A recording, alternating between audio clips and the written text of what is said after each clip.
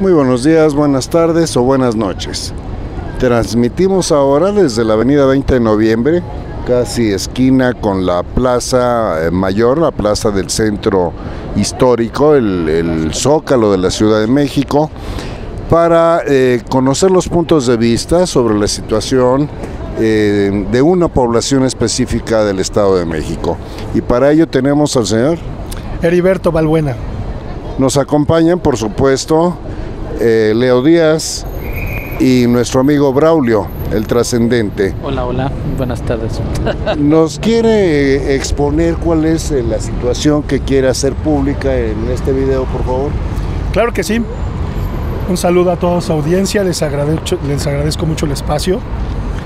Bueno, eh, yo vivo, yo radico en Atizapán de Zaragoza, Estado de México. Somos una población con 500 mil habitantes, actualmente gobernados por Morena, pero sin embargo hay inconformidades las cuales de mi parte yo vengo a, comunicarles, a compartirles. Respeto mucho la diversidad de ideas, en este caso les voy a exponer lo mío, mi pensamiento y a ponerlo a consideración. Eh, quiero hacer un paréntesis eh, por la situación que estamos viviendo, y no solo en el Estado de México, sino a nivel nacional, de este chapulineo que se ha dado entre los políticos de diferentes partidos y que están migrando muchos de ellos precisamente a Morena.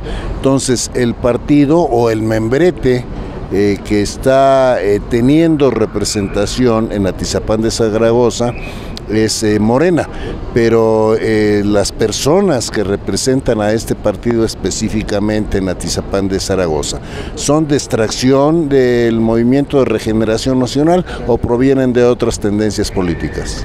Es muy interesante tu pregunta. Voy a ser breve. La extracción de la presidenta municipal, la señora Rudo Olvera Nieto, es panista.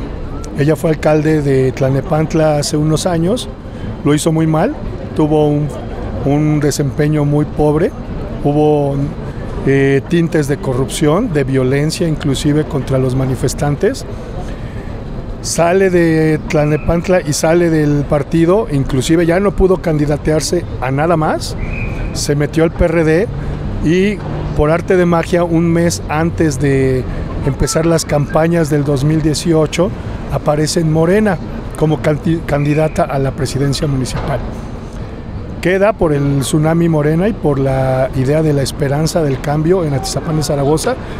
Esa idea López Obradorista, morenista de Movimiento de Regeneración Nacional es muy bien acogida en mi municipio y pues desgraciadamente quedó electa Rudolvera. Muchos que la conocimos en su desempeño en Tlanepantla sabíamos que iba a haber problemas y no nos equivocamos. Así está sucediendo, repito, esa es mi opinión. Y la opinión que he recabado también de mucha gente de nuestro municipio. Lo primero que hizo es formar su gabinete o cabildo o su, su cuerpo de gobierno con una base priista y panista eh, muy dolosa, muy corrupta, con, con tintes corruptos y, definitivamente con gente que ya había gobernado en Atizapán, que ya habían tenido algún cargo y que sabemos que nos deben, sabemos que no, que no lo hicieron bien y son los preferidos de Rudo Olvera.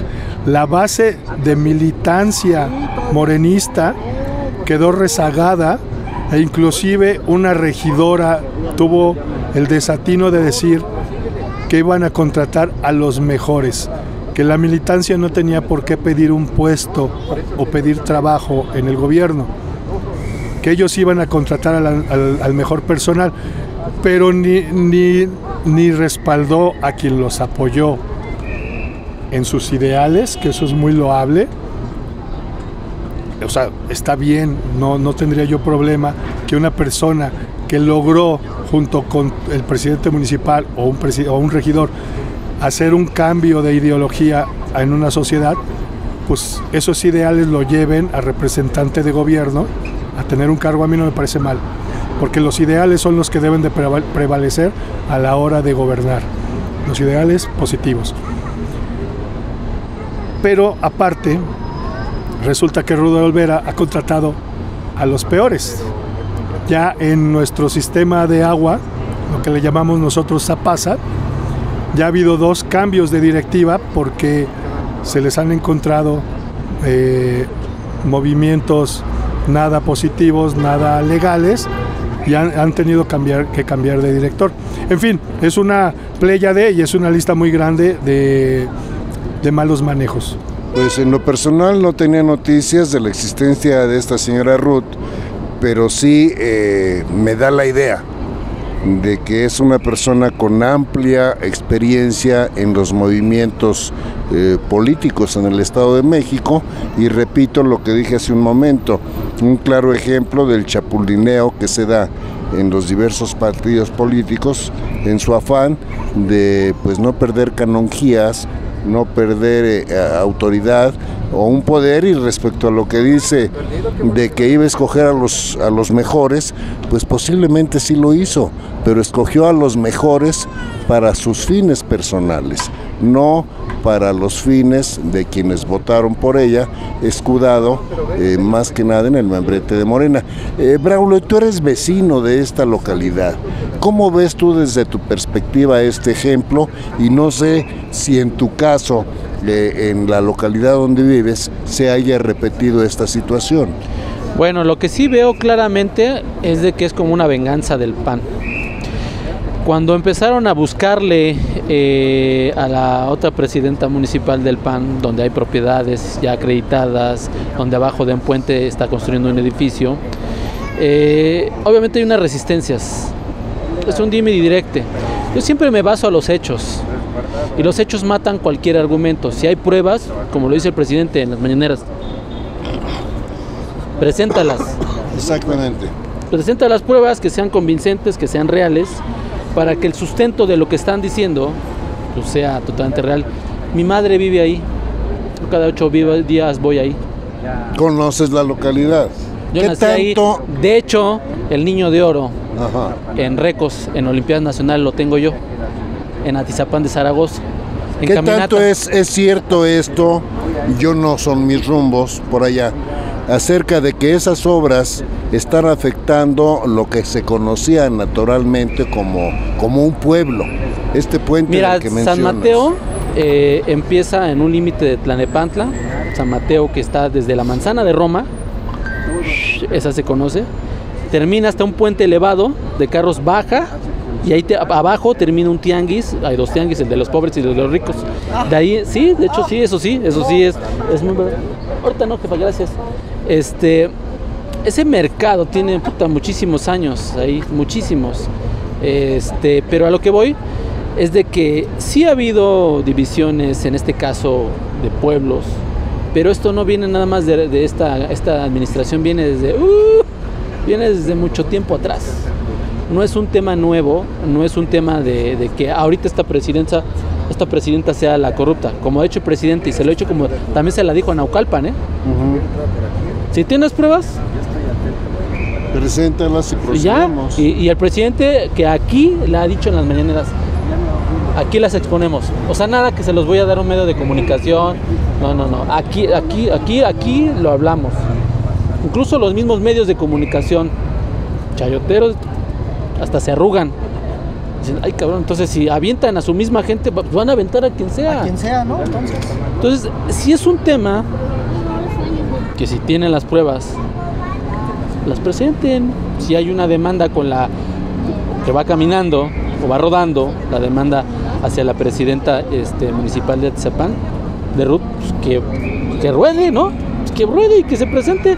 Y si es así, el, el hinchamiento mediático es más peligroso que el hinchamiento político y el hinchamiento judicial, por decirlo de alguna otra manera. es, es peor el mediático. Ya lo comprobamos con una niña que se pierde, ya ves cómo pasó. Exactamente. Porque el juicio social es más pesado que el juicio político o el juicio judicial. Y a veces que el juicio judicial. Eh, esto me hace pensar en varias situaciones. En principio, el que somos subjetivos. el que comentamos sobre versiones que nos llegan, en este caso del señor, que es digno de, de la credibilidad que, que, corresponde. Claro. Y eh, se, enlaza esto con otros eh, dichos o rumores de algunos funcionarios públicos y aquí sí es preocupante del hecho de lo que está sucediendo en Atizapán de Zaragoza, en Tlanepanta y en muchos eh, municipios más del Estado de México respecto a una declaración que en su momento hizo Enrique Peña Nieto previo a las elecciones presidenciales o durante esta etapa.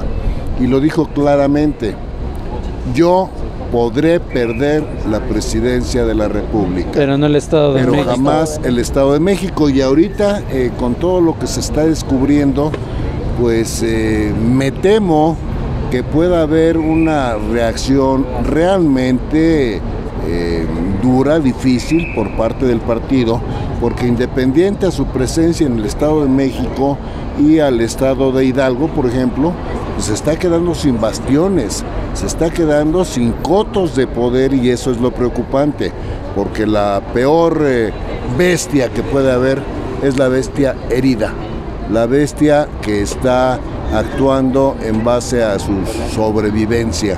De hecho, es el caso. David Castañeda, que lo conozco que fue presidente municipal de Atizapán, se reventó, puta madre de dinero, ¿Cómo tienes una idea? Ese hombre me suena, creo que es Chapulín, ¿no? No, Castañeda siempre ha sido prista. De hecho, amigo, de, amigo mío de la infancia. Este, sí, jugamos fútbol, cabrón y yo. Perdón, diga los videos. Pero en la vida política de Tzapán conozco bastantes cosas. por de Hacienda. Y no, deja tú eso, eso no es. Deja es una muestra nada más. Sus de... viejas, estuvo, no. Pues estuvo a punto de tocar la cárcel, no la tocó. Está, por pero, sí. Mira, te voy a decir una cosa. A ver, Panismo y prismo.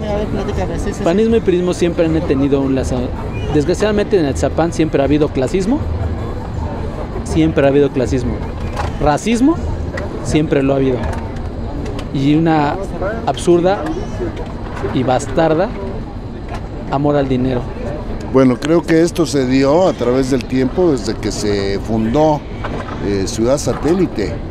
Ah, bueno, ahí te va. Que en sus principios significaba Todos quisieron una hacer. zona No, muy- espérate, todos querían ser este fifís. Exactamente. Todos querían ser fifís. La zona de Tlanepantla y la zona de los. Cuando se funda ciudad satélite, los güeyes del sindicato hicieron fraccionamientos para electricistas en Lomas de Atizapán, en Tlanepantla, en Cuautitlán Izcalli, en Cuautitlán de Romero Rubio. Y mira, lo más cajeto de todo es que ni son fifís y son los que están Solo aplaudiendo y, pendejos. Pero- porque Calderón le reventó toditita la madre a los, a los electricistas y son los que les aplauden a- a- al pan. Puro aplaudidor. Y mira cuánto, cuánto también hay Ah, ahí. entonces déjalos, es que son focas amaestradas, Ah, acción, pero es que ese es el tema. Mira, yo siempre digo que en la política, cuando vas a platicar, vas a comentar, tienes que estar preparado para lo que venga, porque hay mucho, Akira, hay mucho ahí, hay mucha cabeza, y no se nos olvida. Recuerda que nuestra frase en este canal, o noto el prospretérito, mucha gente mucho no lo sabe aplicar. Y para aplicar el prospretérito, tienes que haber vivido mucho y Consciente. aprender. Consciente. Y no, vi- haber vivido a costillas de un partido político, de otro, de un movimiento, de una empresa. Y eso no es bueno porque hay veces que nos ocupan como cuchillo para abrirles el pecho a alguien que ni es tu enemigo, que nunca lo ha sido, pero te utilizan de, un, de una manera para golpetear. Para golpetear. En el, en Atizapán de Zaragoza ha existido el clasismo, el racismo y hasta la fecha sigue existiendo el clasismo. El clero en Atizapán es el pan y siempre ha sido marcado. El prismo en, en Atizapán de Zaragoza ha sido una vida rutinaria. Ni bueno ni malo. Robaba, daba.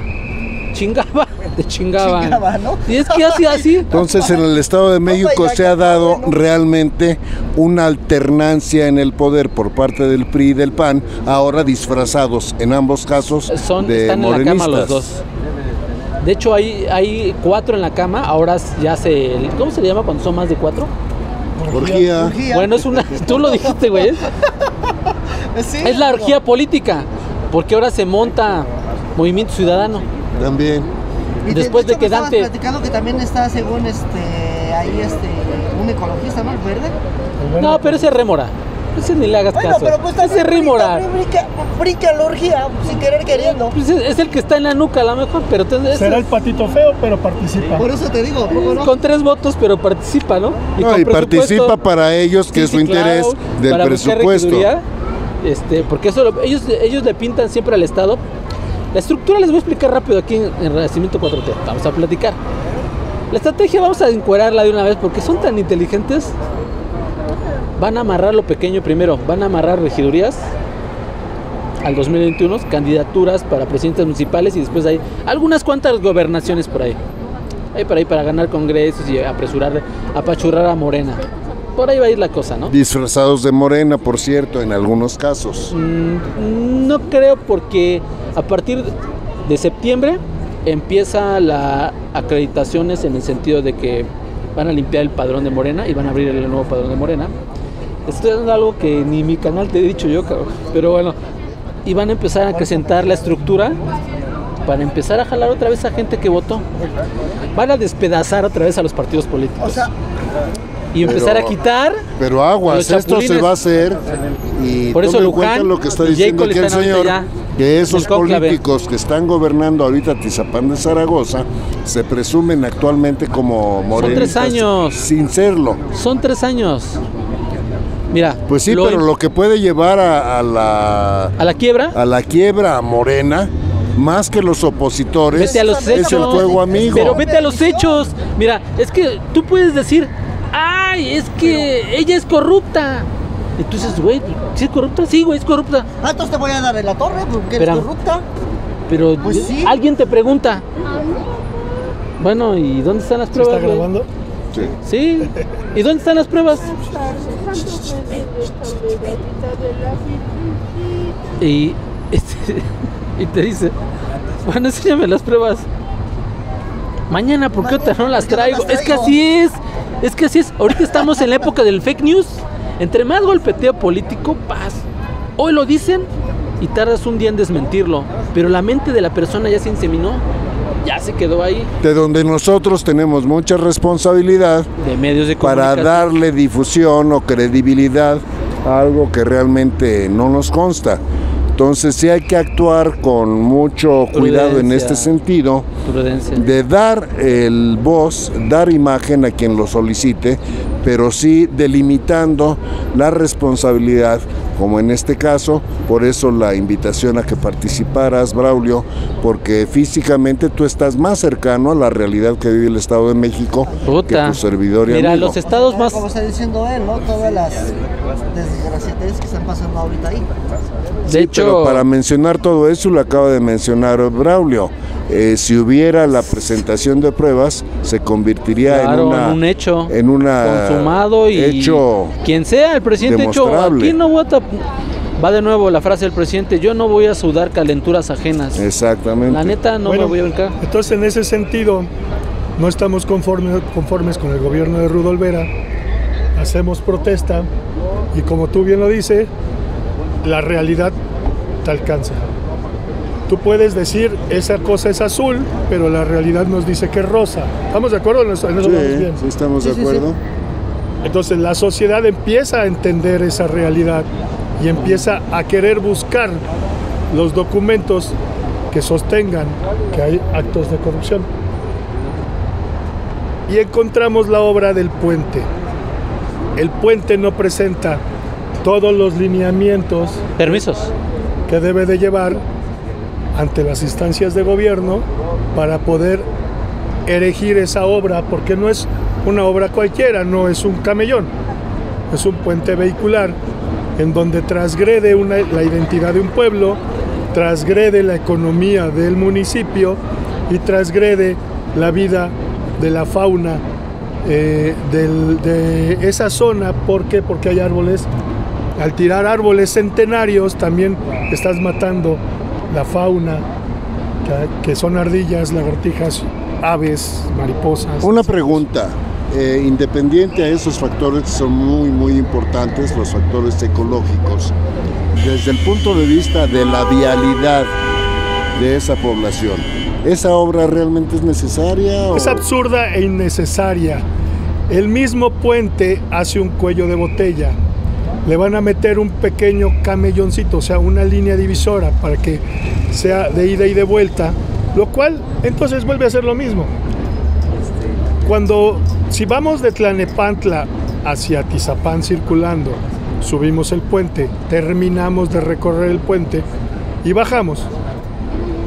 El puente termina en el mismo camellón Entonces no resuelve ningún problema. Ahí más bien el problema sería sujetar esa obra a una auditoría.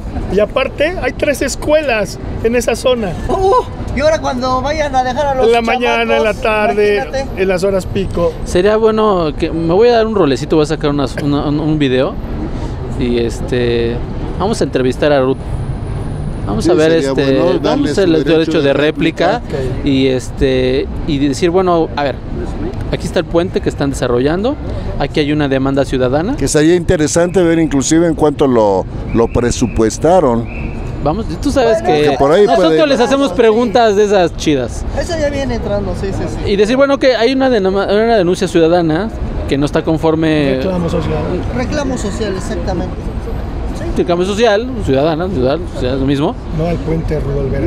Ok, y ver de ahí, ok, cómo vienen los, los permisos, dices que los permisos por ahí va, Sí, sí, los lineamientos legales. que son permisos. Sí, ¿Ecología? claro. manifiesto de impacto ambiental, ¿Qué es esa ecología? claro. Bueno, nosotros cuando empezamos a hacer la indagatoria, que, que está bien que lo que, que lo que tú mencionas, se tiene que hacer la comprobación, por supuesto, no todo es nada más de hablar. Resulta que transparencia del municipio reserva la información. Ah, caray. Pues si no estamos hablando de un proyecto nacional ni de un asesinato de, de fama mundial. O sea, es Es un abuso del concepto de Claro, por de- supuesto. de información. Transparencia no tenía por qué negarnos el acceso a la información. Y ahí empieza nuestra sospecha de corrupción. Ok, bueno, yo creo que lo que tenemos que hacer aquí es entrevistar a, a Ruth Olvera, eh, que nos relate, y si no puede Ruth, debe de haber un encargado de Pero obra. debe- es lo que te iba a decir, Les el digo, encargado de obras. sí, hay que- Nina Hermosillo se llama. ¿En base a qué se diseñó esta obra? ¿En base a resolver qué? Mira, normalmente se hace qué un, un estudio para, de impacto para ver qué es costo-beneficio. Exacto. ¿Cuánto Yo- me cuesta? ¿Qué beneficio traigo? ¿Qué beneficio trae? Es que ¿Cómo? aquí hay un, es- eh, debe de ser un, un asunto multifactorial porque a Tizapán lo llenaron de puentes durante sexenios anteriores. Sí, claro, tiene un crucero. desvío de Para llegar al hotel de Atizapán quiero- tiene un crucero. ¿Quiere tener desvío de recursos? El de origen. No claro. Está mal hecho.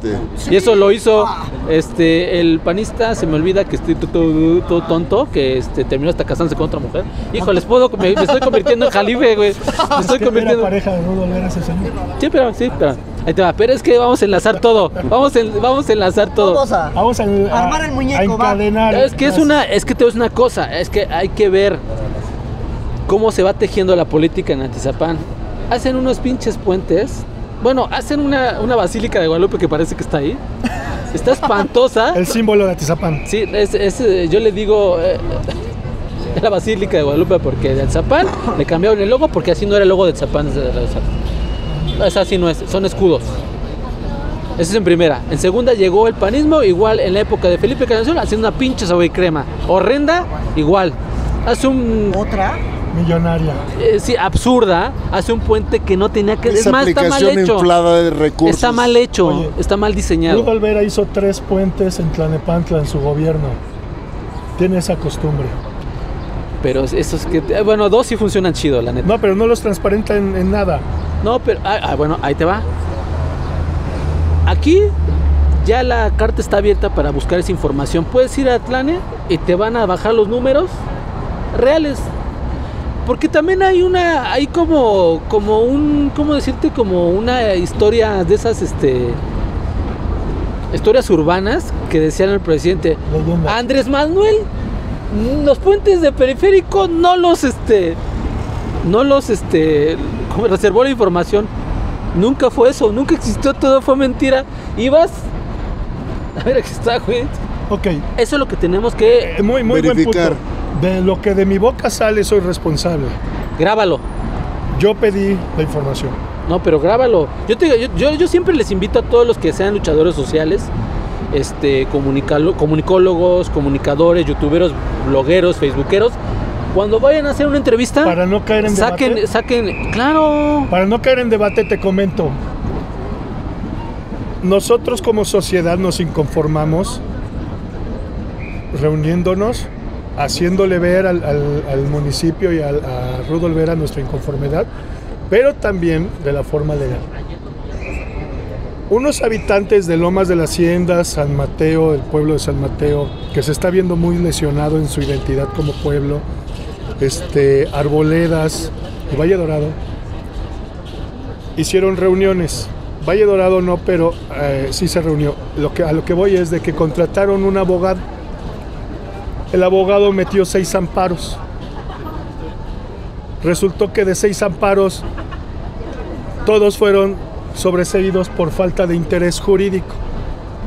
Para la población que no está muy eh, em- empapada, pues simplemente no fueron bien sometidos, bien redactados, bien integrados, ¿no? bien integrados. integrado. integrados. No sabemos si fue con dolo o falta de experiencia del abogado, pero ¿quién contrataría a un abogado que de seis amparos pierde seis?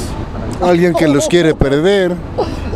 ¿Tú No, contratarías un abogado? no, no, no, más bien no los... Te voy a dar su tarjeta para cuando tengas problemas. Es lo que te iba a decir, más bien no es tanto eso. Volvemos a... Volvemos al mismo elefante reumático. No, aquí hay otra causa, A mira. ver, o sea, digo, ya- ya Recordemos, es mucho, o sea, recordemos. Si pues entonces mejor de El abogado era. Giorgio Villanueva. Te voy a pasar sus datos por si lo quieres contratar como abogado. Y él dice que tiene un despacho muy bueno. Ok. Hizo. Bueno, su hay quienes cobran por ganar y hay quienes cobran por perder. Pues por eso es lo que te estoy diciendo. ¿Quién pierde seis de seis? Yo, Estamos hablando, o sea... yo diría que lo que sí sería bueno es que documentaran su- sus entrevistas con las personas del Yo no municipio. pertenecía a ese grupo, pero empecé a grabar la lucha social. O sea, hay un momento en que yo entro a la lucha y antes no estaba yo. Ya habían contratado al abogado y yo lo conocí mucho después. Y no me dejaban ver los números de folio de, los amparos. Yo creí que eran tres nada más. Hablé a la leyenda de dos. Nunca los vi y no pude darle seguimiento a eso. Pero respeté mucho que la sociedad ya había, le había encargado un- una figura eso, la búsqueda de la, de la transparencia. Luego nos ignoraban, se burlaba de nosotros la autoridad en nuestra cara e inclusive vio- violentaron nuestros derechos humanos y nuestros derechos a la manifestación. Llegó el momento que tomamos la decisión como adultos y como pueblo de inconformarnos eh, en la calle de Jinetes un miércoles en la noche y fuimos nuevamente violentados con uso de fuerza excesiva por parte del licenciado Alberto Ugalde, director de la de Seguridad Pública de Tizapán, por órdenes de Rudolf Vera, porque él nos decía que estaba en comunicación con ella y hay un video que lo comprueba. Sí, sí, estoy de acuerdo contigo que todo hay que comprobarlo. Sí. Sí. estoy de acuerdo contigo en eso. Por eso no es debate. Estoy de acuerdo contigo. Yo empecé a documentar lanzaba mis videos y tomaba evidencia de cuando cortaban un árbol, cuando dañaron árboles con, con grasa para que se murieran, cuando Alberto Galde nos violentó, en fin, todo eso yo lo empecé Sí, vi el reportaje que metían. a, a manifestarnos, pero también a decirle a la gente que tiene derecho a manifestarse y que tiene derecho también a presentar sus pruebas. No nos vamos a ir nada más a hilo. al, al, al Vox Populi. El Vox Populi es bueno, pero también es un arma de dos Pero filos. Es un arma de dos filos. ¿Y qué hago aquí con ustedes? Justamente invitando a la gente a que se inconforme de lo que crea y, y tenga convicción de que está mal, pero que lo documente. Estamos en un medio alternativo en donde el éxito de estos jóvenes es su honorabilidad, pero también que se hacen armar con el video. Fíjate Con la que con la tecnología. hay, y la hay- hay- hay un punto de, de lo que quiero ahí sobre, sobre saltar lo que acabas de decir, de su inconformidad. jóvenes. Yo creo que lo que es bueno para ti es malo para mí y lo que es malo para ti no es bueno para ti. Puede ser. ¿Por qué? Porque las necesidades son diversas y más en. Atizapán, en Atizapán. Claro, Te comento. la semántica, por supuesto. Eh, Ya sí, para cerrar, ¿eh, señores? sí, pero Atizapán tiene muchas necesidades porque el pueblo, bueno, los pueblos que, que hermanan Atizapán de Zaragoza están hechos con diferentes comunidades y diferentes mm, tipo de gente, por decirlo así, por no ponerles un... este, 70 etiqueta. fraccionamientos, 100 colonias populares. Sí, pero de pensamientos muy diversos y de necesidades muy diversas. Donde pasan los puentes es la gente que tiene posibilidades económicas altas. Espérame, móvil. Ah, pero no es la mayoría. No. Las que más protestan y las que más se movilizan son la gente que les afecta su ritmo de vida. Lomas de Atizapán, Arboledas. Y esas son las que más se inconforman. Porque si tú le preguntas a la gente de a pie, a la gente andando, que digo, estaría bueno que hicieras y te, te doy una, una- una idea. Párate en una parada de autobús y haz un cuestionamiento a la gente y decirle, oye, ¿qué onda? ¿Cómo ves? Sin manipular la pregunta. Claro, Oye, ¿cómo ves el con puente que ganas están de llegar a la haciendo? verdad, claro. Sí, porque si le dices, oye, pinche puente, ¿está bien feo? Pues la gente, ah, sí está bien feo. Bueno, Eso es manipular. Poner una respuesta. Bueno, mira, déjame, eh, en ese sentido, es muy importante esta información. Sí. Pertenece al hecho, a la verdad histórica. No ocupes esa, no utilices esa Espérame, porque te van a decir son- Murillo cara. Son hechos que existieron. Sí, Y tú conociste a David Castañeda. sí, En la época de David Castañeda hubo el intento de hacer una zona habitacional en un predio que se llama El Hípico. de hecho en el potrero sí lo hizo. Los edificios. Eso es otro. Es el mismo, No, es el mismo fraccionario. no. Ah, el fraccionador. Sí, claro. Pero ¿De qué ubicación? Sí. en Lomas de la Hacienda, que es una, col- un fraccionamiento pequeñito, Sí. Que colinda con Club de Golf, que sí es una zona de residencial de gente de altos ingresos. De hecho ahí estaba el Chivas. Adentro de ese fraccionamiento hay un predio grande que se llama El Hípico. Y se le llama así porque sí, había- antes había caballos ahí. Eh, en algún momento se dice, y eso es leyenda, no me consta, fue dueño Miguel Alemán y mucho iba Azcárraga a ese hípico. hípico. Sí, Cuenta sí, la- leyenda, sí, para que se den cuenta del nivel. Sí, era verdad. Pero después, ese no era, no fue siempre un predio particular. Hubo una enajenación del predio. De hecho era zona... Ejidal. Sí, era, estoy hablando de 19... No, del Mazo Papá, cuando fue de Atzapán. Claro, Y se lo apropiaron. Y se lo hay chingaron. una enajenación de Ajá. predio Se lo en el que yo quiero llegar a Que el PRI ha hecho eso siempre, ¿eh? En todos los estados. Es- Bueno. Es más, incluso en Melchor Campo lo acabo de hacer hace como tres triños atrás, por cierto. Entonces queremos demostrar la enajenación del predio del Hípico. ¿Por qué? Porque ya nos perjudicó en donde en el predio del Hípico alrededor se hizo Lomas de la Hacienda, con dos calles nada más para salir. Ahí quieren hacer una zona habitacional de 471 departamentos, Departamentos. que solamente van a poder salir por esas calles, en donde por eso eh, eh, Ecología les pidió más Espacio. accesos, accesos viales y de ahí surgió la idea del puente. No, ya. Pero si tú en esa zona metes 471 departamentos, son ambiental 800 tremendo. autos, ¿cuántas familias te gustan? 2.000 habitantes más. Se armó el rompecabezas, para eso quieren el pinche puente. Exactamente, ese es el móvil. Ese es, Pues es- sí. normalmente esa es, esa es la salida, porque tú vas a construir vialidades en base Bueno, al desarrollo de Imagínense vivienda. que esa misma zona solamente tenía dos carriles de salida y dos carriles de entrada y le metes el cuello de botella del puente más cuatro más por lo menos 800 carros porque no son gente pobre 2000 personas la descarga y el uso de, los sistemas hídricos a las 6 de la mañana Se va a descompensar se va a descompensar Bueno, Nicolás de hecho, el cárcamo está chido todavía, ¿eh? Nicolás Romero sí. que es una Nicolás Romero que es una extensión Sí, pero es parte alta, Nicolás Romero. Nicolás Romero es un pueblo vecino. Sí. Es un municipio vecino, perdón señores, con 10 pueblos. Saludos a todos ustedes. Eh, tiene 1800 habitantes por kilómetro cuadrado. ¿Cuántos crees que tiene Atizapán con los mismos 500 a- mil habitantes? Tenemos la misma población, 500 mil habitantes. Pero una extensión diferente. Extensión diferente, Es más grande Zapan. pero tiene una idiosincrasia de urbanismo diferente. Necesidades. 1800 Sí, habitantes Nicolás Romero, nosotros tenemos 6000 habitantes por kilómetro cuadrado. Y estamos proponiendo más habitantes. En espacio Ah, reducido. de locos, de No se puede. No se puede. Lo que sí tendrán que hacer ahí, digo, yo lo analizo y lo veo así, es ver. Lo primero, no puedes negar vivienda donde no hay vivienda. Pero hay un manifiesto del Espérame. pacto ambiental y no lo tiene.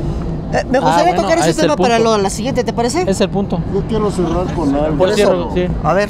Sí, porque ya nos vamos. Va, va, Sí, va. yo quiero cerrar con algo que nadie ha mencionado y que sin embargo creo tengo algo de razón.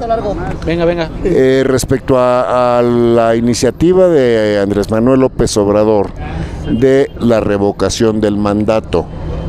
Si bien todo mundo lo identificamos como pa- aplicable exclusivamente para la presidencia de la República, no lo es. Y una de las preocupaciones que tienen los gobernadores, los presidentes municipales y los equipos de trabajo que los conforman es precisamente eso. Les preocupa que la ley para eh, revocar los mandatos también les alcance. Y lógicamente que lo que estoy escuchando de la situación del Estado de México es no más que una estrategia de llevarse lo más posible en el menor tiempo posible. Porque si la ley de, de la abolición del mandato los alcanza, pues ellos se van a quedar automáticamente en la calle. Cierras porque nos llueve. Con eso quería cerrar. De mi parte es mi punto de vista de que esto trae más cola de la que se ve a simple vista. ¿Quieres cerrar con tus palabras? por favor? Bueno, un agradecimiento a ustedes eh, por escucharnos. Este, ojalá visiten Atizapán de Zaragoza, las autoridades se interesen por el tema. Si nosotros no tenemos razón, no hay problema.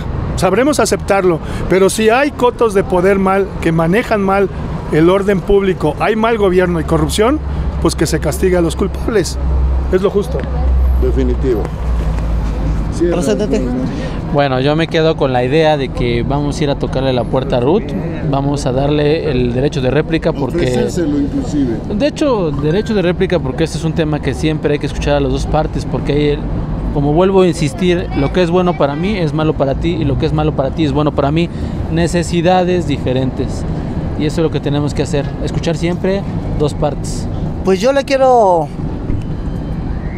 pedir de favor, no, pedir de favor que no sea la primera y última vez que, Ah, ¿no? que nos visites, porque la verdad hay tema de conversación. Gracias por darme la oportunidad, porque desde cuando ya hemos planeado esto, y tú lo sabes, de que tanta comunicación que hemos tenido desde bastante tiempo atrás. Te quiero agradecer este, sinceramente, gracias por darme la oportunidad.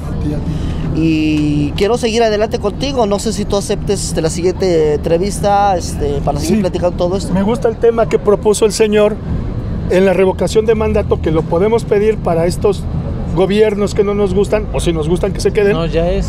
y no, o sea, ya el es plebiscito, quieran, el ya. plebiscito. Este, estudien lo que es el plebiscito en nuestra constitución política. Sobre todo eso, infórmense, señores. Leo Díaz, Renacimiento. 4K.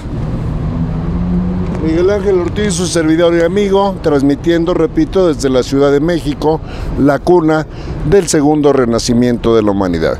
Que tengan excelente tarde, aunque parece que por estos rumbos Ya va a llover. Va a Hay que llover. trascender. Sale pues, señores, cuídense. Chao. hasta Y un paso siguiente. atrás.